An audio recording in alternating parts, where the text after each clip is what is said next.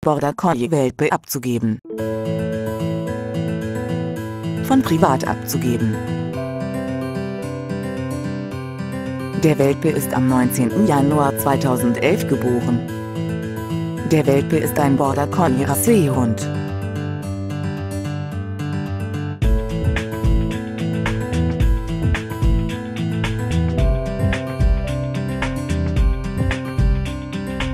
Rufen Sie uns an 051619499773. Besuchen Sie uns in Bommelitz.